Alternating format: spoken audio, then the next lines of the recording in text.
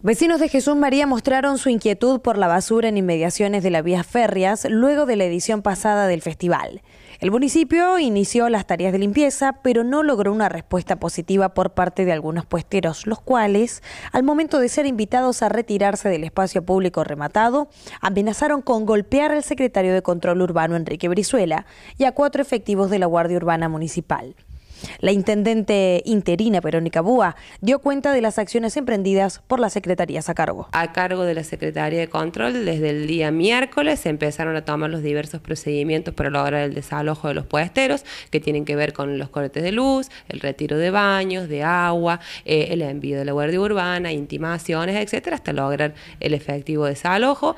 Eh, y a su vez, una vez que se produce el, retiro de, de los puesteros y el cese de la venta, empieza el operativo denominado Remediar, que está a cargo de la Secretaría de Obras Públicas.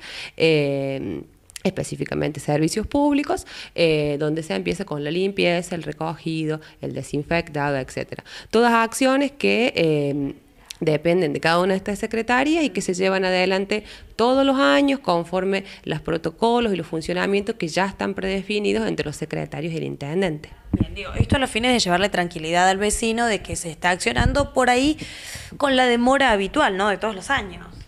Sí, por supuesto, estamos, eh, no quiero decir dentro de, los plazos normales, digamos, pero sí de la habitualidad de lo que sucede todos los años, sumado a que eh, la gente de servicios públicos ha, estado un poco más comprometida por el tema del día de la tormenta, que generó la necesidad de recoger mucho verde, mucha hoja caída, mucho cable cortado. Entonces, bueno, ahí tuvimos que, que hubo que destinar desde la secretaria, que los secretarios han manejado destinar gente también a eso, algunos cambios a eso, pero bueno, la carpa municipal fue desarmada en los plazos previstos, es decir, que las dos secretarias están trabajando conforme los protocolos de trabajo y conforme las directivas que les ha dejado el intendente. Bien.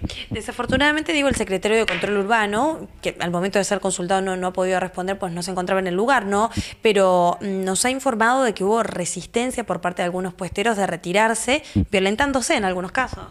Sí, se han dado situaciones muy agresivas, se han dado situaciones de, de, te diré, entre comillas, de amenazas, de impedimentos de proceder. Hay que tener en cuenta, bueno, que los puesteros eh, también tienen su posición, son muchos, se dieron situaciones de agresividad que desde la Secretaría de Control el secretario ha tratado de evitar en todo momento para tratar de llevar el desalojo a un puerto y lograrlo como efectivamente se ha logrado.